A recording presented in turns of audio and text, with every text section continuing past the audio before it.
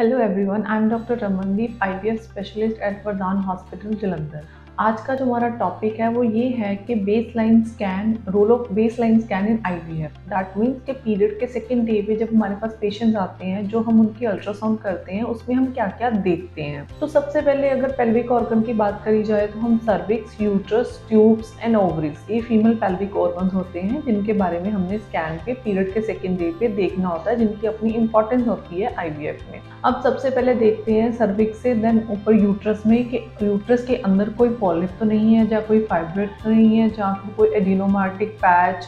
और कोई कैविटी के इनसाइड पॉलिप और कोई फाइब्रेट जो कैविटी को इम्पिंच कर रहा हो, ऐसी कोई चीज़, या फिर उसके अंदर कोई पर्दा तो नहीं है जिसमें कैविटी दो हिस्सों में डिवाइड हो रही होती। देन उसके बाद हम देखते हैं ट्यूब्स के ट्यूब्स में कोई भी हाइड्रोसेल्पिंग जैसी कोई प्रॉब्लम तो नहीं है। Then comes out the ovaries and this is the most important because इसमें हमने एंट्रल फॉलिकुलर काउंट का स्टेटस देखना होता है, जिसका अपना एक रोल होता है आईवीएफ में, जिसमें हमने इनको कोरिलेट करना होता है ब्लड टेस्ट के साथ, जो कि एएमएच लेवल एंटीमलेरियल हार्मोन्स होता है।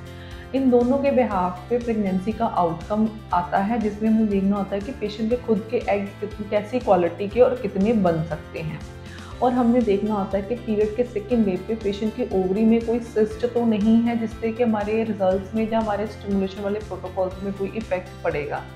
तो ये एक बेसिक सारी चीज़ें होती हैं जो हमने अल्ट्रासाउंड पे देखनी होती हैं, वो भी पीरियड के second day thank you so much